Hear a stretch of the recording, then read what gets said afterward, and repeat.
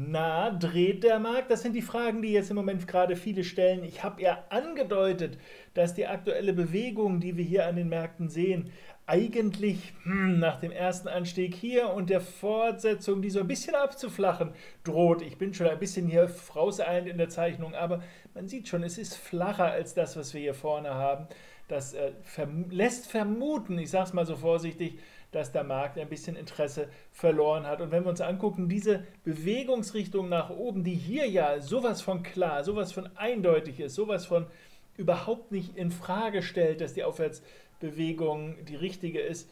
Hm, irgendwie, wenn man hier mal diesen Aufwärtsarm, machen wir es hier, da können wir es noch besser vergleichen. Der vordere Teil, hier hat man eine kleine Korrektur, da gehe ich so, nochmal eine kleine Korrektur und das. Ich ziehe es mal zur Seite, damit das klarer wird. Das ist der vordere Teil gewesen. Und jetzt malen wir mal hier nach, wie die Bewegung ist. Einfach nochmal, um sich die Sachen so ein bisschen klarer zu machen. So auf das Wesentliche beschränkt, dann sehen wir, dass die Bewegung nicht nur, jetzt schiebe ich das nochmal zur Seite, dann können wir das ein bisschen besser vergleichen, in der Hoffnung, dass mir das jetzt gelingt, aber der gute Wille zählt natürlich hier. Also, wenn ich das mal so ein bisschen vergleiche, das ist das, was wir jetzt im Moment haben. Das ist das, was wir nach dem großen Rücksetzer hier hatten. Nach dem Juno-Rücksetzer ging es da steil nach oben. Dann sehen wir schon, so sieht eine tolle, dynamische, eine bullische, eine starke, impulsive Bewegung aus. Und das ist hier das, was wir aktuell bekommen. Hinweis ist, dass der Markt hier schon zur Seite wegdreht. Also ich male das mal so ein bisschen hm, das ist eigentlich so, wenn der Kurs so ein bisschen abknickt, schon mal ein Hinweis. Das nächste ist, wir haben viel mehr Überschneidung, Überlappung, dass der Kurs den Vortrieb nicht mehr sucht. Und das ist kein Beweis, aber ein Hinweis dafür, dass der Markt zumindest mal ein wenig mehr strauchelt. So, womit kann man dann rechnen? Naja, wenn er strauchelt, hm, dann muss man jetzt mal gucken, was die nächste Bewegung eben sein wird.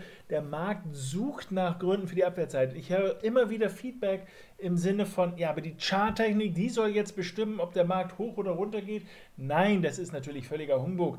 Die Charttechnik kann die Zukunft nicht sehen, aber die Charttechnik kann die aktuelle Marktstimmung wiedererkennen und wir wissen alle, eine negative Nachricht in einem blöden Umfeld ist anders zu bewerten als eine negative Nachricht in einem positiven Umfeld. Das heißt, es sind natürlich Informationen und Nachrichten, die die Märkte bewegen, aber wie stark und in vorzugsweise in welche Richtung, das hängt von der Stimmung ab. Und die kann man am Chart ohne weiteres eben ablesen. So, jetzt haben wir den ähm, Luxus, dass wir erkennen, vorsichtig nach oben sind die Zweifler unterwegs und wir sehen im kurzfristigen Chart hier schon, etwas, was ich gar nicht so unattraktiv finde. Ich sage mal jetzt mal ganz grob hier so die Abwärtsseite und jetzt so ein bisschen dieses A, B, C-mäßige. Das ist noch kein Hinweis dafür, dass wir jetzt alle auf Short wechseln müssen. Allerdings ein letztes Zwischentief.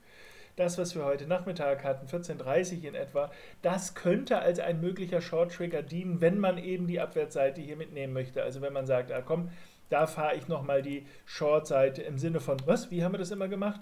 Schub in die eine Richtung und dann nochmal so eine ABC und dann die Verlängerung in diese Richtung.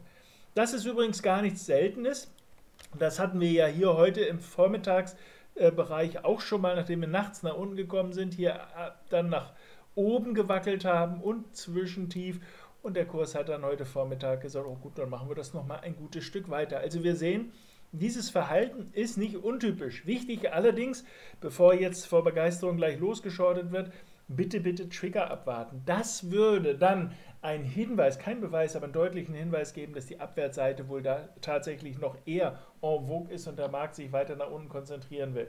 So zumindest mal die bloße Theorie, die allerdings ja durchaus immer wieder ihre Bestätigung findet in verschiedenen Zeitebenen. Hier habe ich ein Beispiel im 5-Minuten-Chart, aber wir sehen ja ein ähnliches Beispiel hier auch auf äh, 4-Stunden-Basis beispielsweise, wo wir zumindest, wenn auch weitaus weniger spannend, aber zumindest vorläufig dann nochmal die Fortsetzung nach oben gesehen haben. Also, das Bild ist immer wieder präsent, äh, bis hin in Tagesebenen, wo wir sagen können, okay, solange wir A, B, Cs mal nach oben rausnehmen, ist eine Fortsetzung durchaus nicht unrealistisch. Wir sehen, das ist im Tageschart genauso wie im kurzfristigen Chart.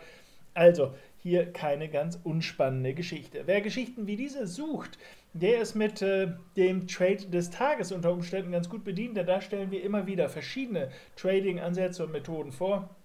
Heute haben wir eine auf einen Zahlungssystemanbieter und wir wissen, die sind ja im Moment sehr spannend. Also wer sehen will, was sich da eventuell tut und was man hier für Möglichkeiten hat oder einfach unabhängig davon, welchen Titel wir dort angucken, einfach nach Ideen sucht, wie man sich dem Markt nähern kann und wie man da seinen Handel aufbauen kann, der kann sich das völlig kostenfrei nach Anmeldung eben freischalten lassen und hat dann Zugriff auf unsere ganz konkreten Handelsideen. In diesem Sinne wünsche ich für heute jetzt erstmal alles Gute, viel Erfolg an den Märkten und wir sehen uns morgen wieder. Bis dahin alles Gute.